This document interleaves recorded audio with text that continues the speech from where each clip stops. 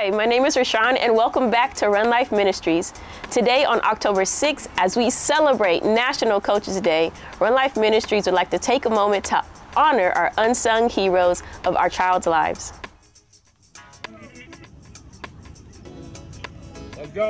Coaches, they are the guiding lights in the front lines to our young minds, not only molding their minds on the field, but also invaluable lessons in life. Today, as we recognize coaches around the world, from field to classroom, molding our future leaders, to all the coaches that inspire and empower every day, we thank you.